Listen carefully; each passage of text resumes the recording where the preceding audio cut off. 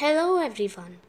We all have must seen trees and we all have must observed that the trunk of the tree is cylindrical in shape. Today, I Aarushi Sadhna will be giving you a mathematical proof of why the trunk of the tree is of cylindrical shape.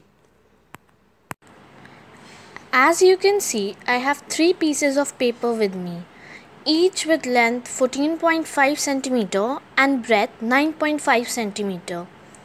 Now I have taken the same length because I need to find that which shape would occupy more volume. And out of these three papers, I have formed one cylinder, one cuboid and one prism.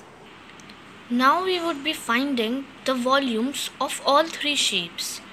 And as the measurement is same, so the radius and height would be same.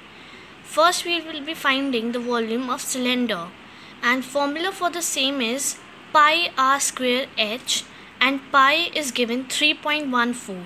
So substituting the values we will get 131.5503 centimeter cube. Similarly, we find the volume of cuboid, which is side square into height. The side was 2.7, so we will substitute the values and the volume will be 69.255 centimeter cube.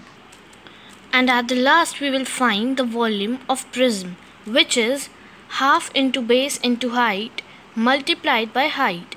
And after substituting the values, the volume of prism is 45.6 centimeter cube. Now as we can see that cylinder occupies maximum volume. Therefore, trunk of tree tends to acquire cylindric, cylindrical shape to occupy more volume in, a, in less surface area.